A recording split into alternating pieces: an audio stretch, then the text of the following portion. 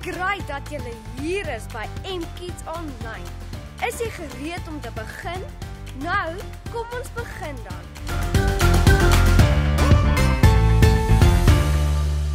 So, ek wil jou 'n storie vertel oor 'n klein boontjie.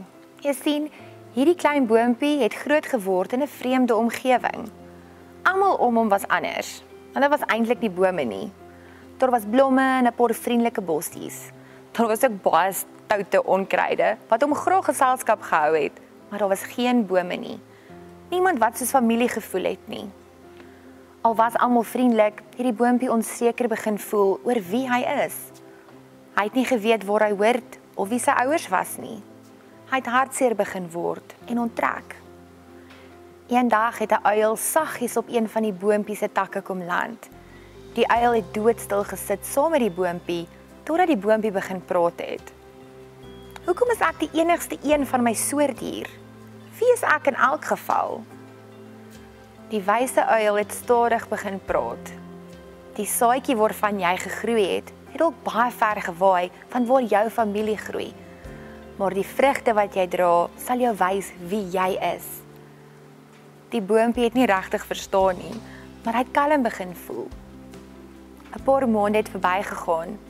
Die boontjie het die mooiste bloeisels begin dra. Die klein bloeisels het appels geword en dit het, het vreugde gebring aan die hele tuin. Die boontjie het skielik besef dat net 'n klein entjie in die pad op was daar 'n appelboord. Sy vrugte het, net soos die uil gesê het, hom gewys wie hy is en waar hy hoort. Julle waar ook al ons gaan, wys die vrug wat ons dra wie ons is en wie sin ons is. So sal ons 'n speletjie speel om te ontdek wat die laaste 4 dele van die vrug van die Gees is.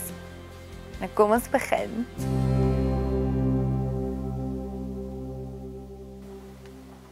Die speletjie is maklik. Gemengde letters gaan verskyn op jou skerm.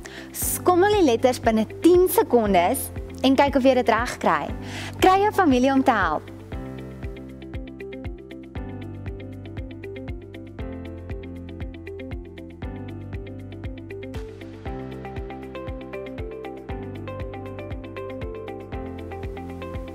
Well done ouens. Ja, dit is goedhartigheid. Nou die volgende een.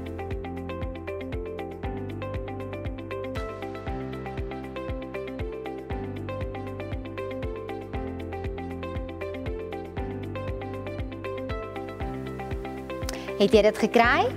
Hierdie een was nogals moeilik. Dit is getrouheid. Nog 2. Hier is die tweede laaste een.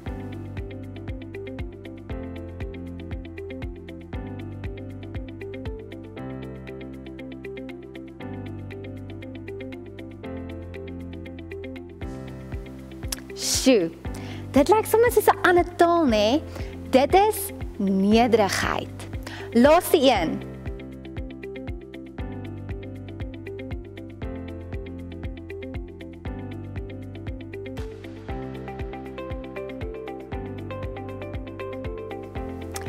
Selfbeheersing.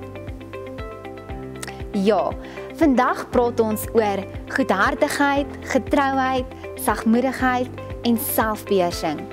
Kom ons lees weer die skrifgedeelte wat vir ons sê wat die vrug van die Gees is. Galasiërs 5 vers 22 tot 23. Die vrug van die Gees daarteenoor is liefde, vreugde, vrede, geduld, vriendelikheid, goedhartigheid, getrouheid, nederigheid en selfbeheersing.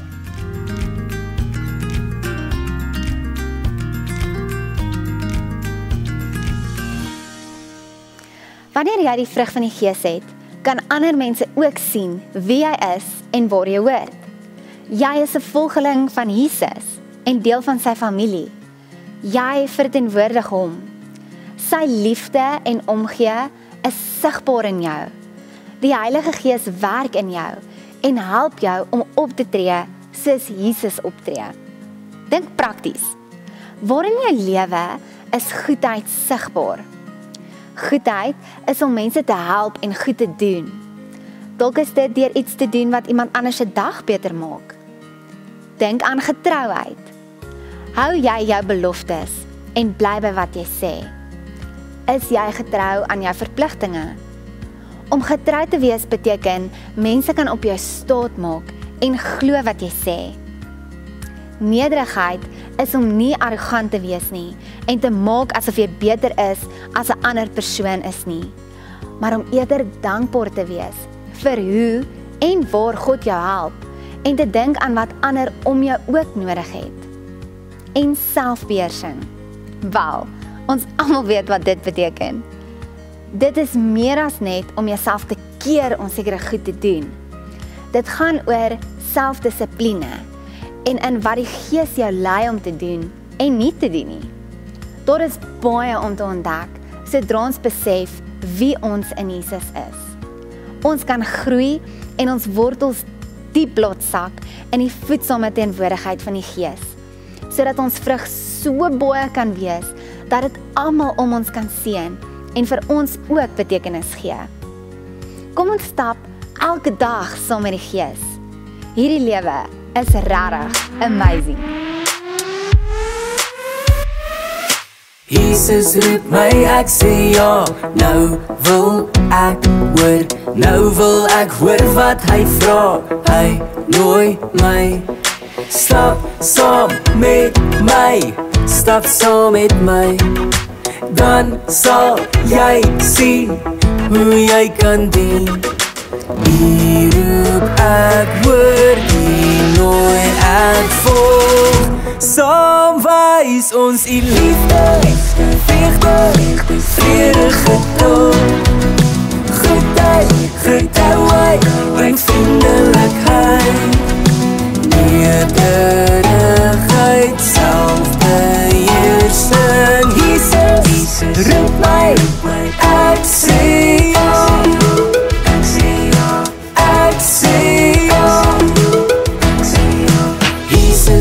my ek sê ja nou wil ek hoor. Nou wil ek hoor wat hy vra. Hy nooi my. Stap saam met my. Stap saam met my.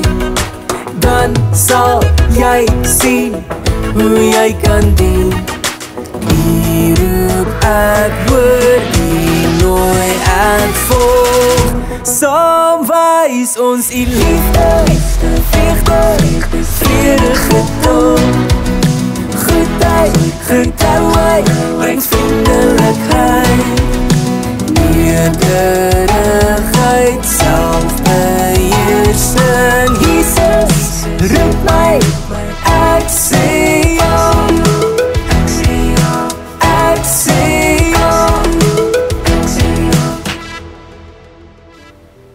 bid saam. Jesus, dankie vir Heilige Gees. Dankie vir die vrug van die Gees. En ek vra vandag Jesus dat ons elkeen van hierdie vrugte in ons lewe sal sien. Amen.